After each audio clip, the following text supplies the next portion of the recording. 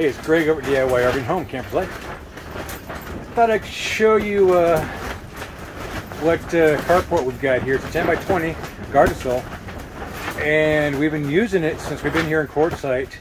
Uh, we put it up uh, the end of October, about 28th of October, and uh, today is January 1st, 2023. Happy New Year! Uh, so far, we've had probably, oh, I'm going to say a quarter inch of rain uh, first thing this morning and as you can hear the wind blowing and howling against the, the tent here or the carport, uh, we've had some sustained winds of upwards of 40 miles an hour. So I thought I'd just take a second and uh, share with you my thoughts on this uh, carport that we got. Now, most of it's good. I mean, she's still standing. She looks pretty good. She comes with uh, bungees, everything to uh, put it together. It's got locking uh, pins for uh, your uh, posts and everything like that.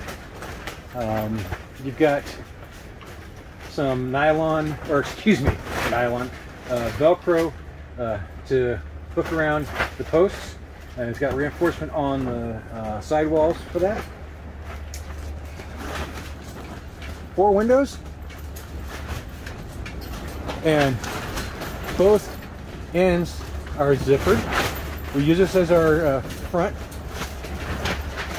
one of the bad things I found is that right down here, uh, that's what is supposed to help keep that uh, in place, the sidewall in place, hold it down.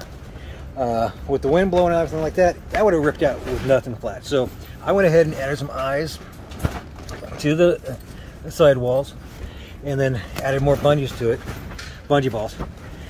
That uh, actually done really good.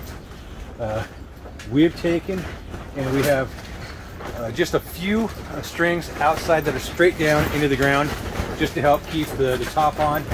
Or yes. And that came with it but what didn't come with it is uh, ratchet straps. We've got uh, 16 of them on. We got 12 on the sides so six per side.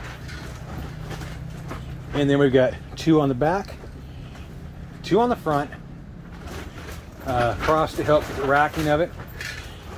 And you can see we just have them wrapped around the cross piece right here. And then it goes down and it's attached to a rebar that's about 18 inches long, rebar spike.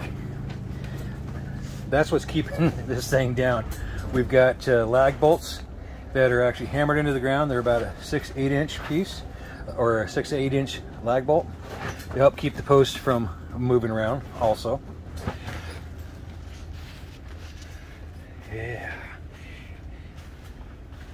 Windows are netted, Velcro. You can roll them up.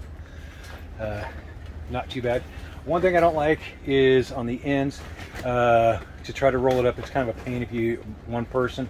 It'd be neat if there was a way to put a little bar there. I might add something to it, just so you can roll it up. But the carport itself, I'm actually impressed with, especially with today's uh, storm going through. Uh, our other uh, quick shade uh, took some damage and so that's going to be going in the garbage at the end of the year. This one probably going to come back next year, hopefully for a few couple more years. But anyways, let's go outside, you what she looks on on the outside. All right, so here's a view from the outside. Like I said, I've just got one string attached to the top, going down, anchored down. You've got, uh, here's that window. You can roll the window up, Velcro it in place. Two per side. She looks like she wants to uh, fly away, but she's held tight, um, stayed in place this whole time.